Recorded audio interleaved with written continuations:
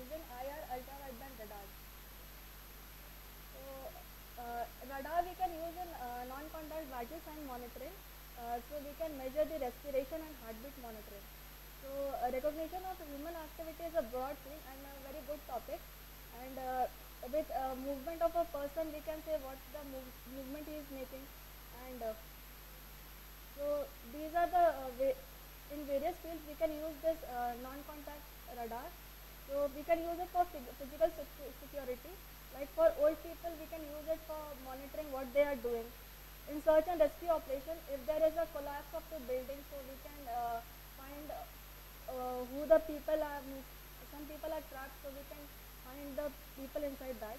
We can use in uh, law enforcement, like uh, for uh, keeping the prisoners and for emotion uh, detection. Most of the radars we can see that it can, uh, one of the paper I have seen in which it could uh, the emotions, uh, whether the person is happy or stressed. Especially the people with depression, we can easily find the emotion because as the heartbeat is in, uh, changing with all the emotions. So we can measure the emotion of a person. So human vital signs such as respiration and heart rate varies according to different kinds of activities. So we can uh, tell what the person is doing.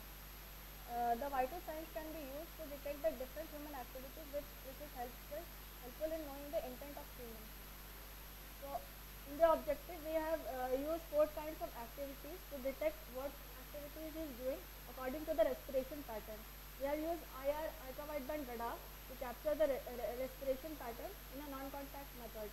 We have used 20 different human subjects for this and we have used uh, support vector machine for classification and short time Fourier transform we have used to uh, as a feature for classification the SVM.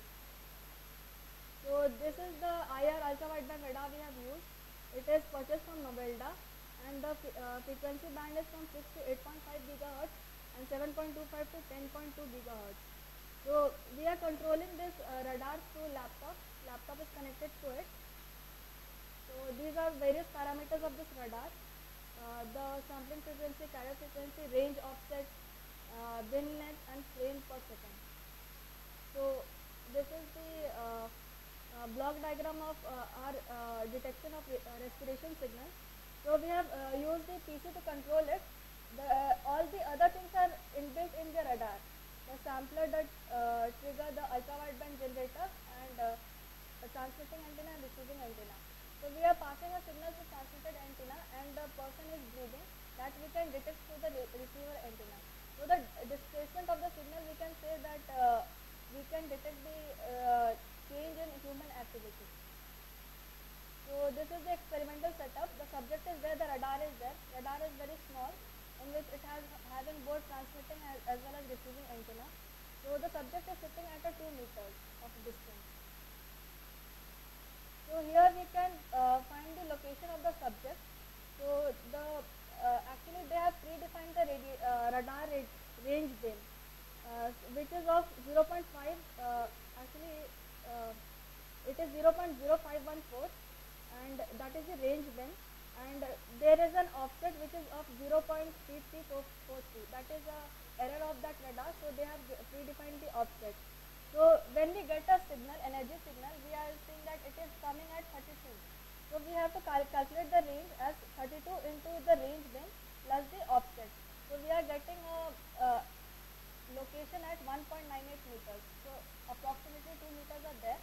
So which is almost correct. So we have used these four uh, activities. Sitting idle, like normally are person is breathing.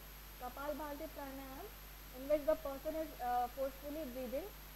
Then reading loudly and speaking. The person is normally breathing and uh, he is reading loudly and speaking. And deep breathing meditation, like slow, uh, slow meditation, so slow breathing. So the human activity data set creation for the classification, we have used 20 subjects. The number of activities are 4. The number of readings per activity is 5. The duration, duration of each reading is 20 seconds. The number of samples uh, of respiration signal is 17 is the frame per second which is predefined by radar into 20 that is coming to 340. The total number of reading is coming to 400. So these are the respiration signal and by that side we are getting the spectrogram of that signal. So for sitting idle, we can say there is normal breathing, and uh, for next one, uh, Kapalbhati Pranayam, we can see that uh, the frequency of the breathing is very high and uh, it is very forcefully. And in the spectrogram, we can see that the uh, uh, inten- uh, intensity is increasing. So the uh, color is increasing at the upper parts of the uh, diagram. Then speaking loudly, uh, we have uh, distortion because as we are speaking also and we are breathing also, so there are some distortions. Uh, d- uh, deep breathing, we can see that there are uh, that is of low frequency and it is sinusoidal. So we used an uh, SVM classification. So uh, this is the uh, we have compared the four all four activities. So we are getting an accuracy of 85 percent. So when we compare one, first, second and third activity, we are getting an accuracy of 92%. When we are comparing first and second activity, as the frequencies are a lot different, so we are getting an accuracy of 99%. So different human activities are detected and classified based on the uh, respiration pattern of uh, IR ultrawideband radar. Uh, we have used a short, uh, short time Fourier transform for uh, classification of SVM signals. It can be extended to two wall radars.